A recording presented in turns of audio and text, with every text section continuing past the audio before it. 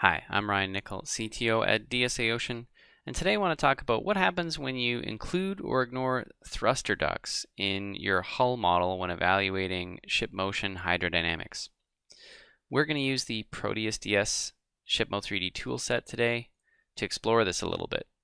Um, here I have a sample ship. Uh, this is the generic offshore supply vessel and you can see I've got a different version than the publicly available one uh, you that you can download from our website. We've got a, a nice uniform or fairly uniform mesh um, and if we just show the uh, ship parts here. We can show see the wet mesh and the dry mesh there based on the displacement and there are the bow thruster ducts and a little stern thruster duct back there. So what we're going to be doing is just uh, making some comparisons and see how much of a difference it makes when we remove those because it's an it's a simplification to make um, and it gives you an opportunity to kind of uh, go through the analysis a little bit faster um, with with uh, less detail in the mesh. So one thing to note is that uh, the way that ShipMo 3D works is you provide the geometry and then you specify the draft and it's assumed to be in static equilibrium. So there's a slight difference in the uh, overall mass of the vessel because it's assumed in static equilibrium. We're talking about um, 4,000 tons and there's about a 1% difference between this one and the other model here where we've simplified the hull and removed those ducts both at the bow and the stern. So if we just look a little bit more closely you can see um, it's generally quite smoothed over here where the ducts have been removed. Um, yet still there's a little bit more displacement accounting for basically that we've you know capped off those ducts and, and, and it's now part of the hull.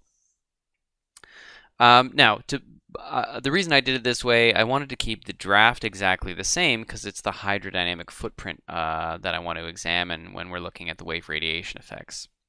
So let's go ahead and, uh, and take a look at those effects. Um, what we'll do is we'll look at a plot of the radiation curve. So this is uh, without any ducts, and then we have here uh, with the ducts.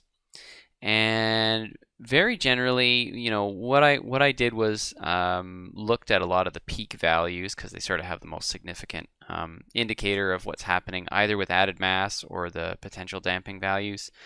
By and large, they're only about you know one percent off from each other, um, and you know, or or or very very close, even closer than that.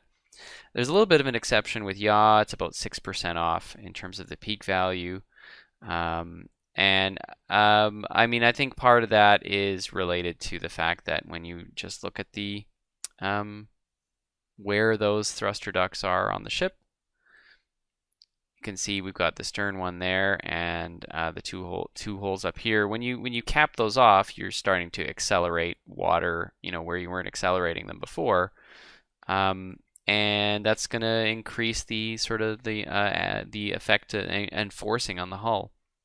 But the fact is, I think in reality, you know, you've got a propeller in these ducts. The, the way that this is modeled with the ducts in here, there's nothing in there, and there's a little bit of grading. That's going to create some resistance. So the real solution is going to be somewhere in between these values that we see here and uh, the values for the capped off ducts. But you know, by and large, uh, the curves generally look pretty pretty similar to each other.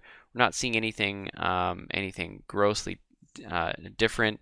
Um, there's a little bit of an irregular frequency here, showing up at a different frequency here um, in the uh, pitch effects, but you know that's that's pretty minor um, in the grand scheme of things.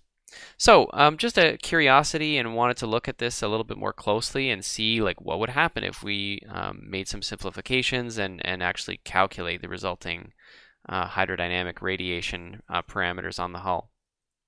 Thanks for watching.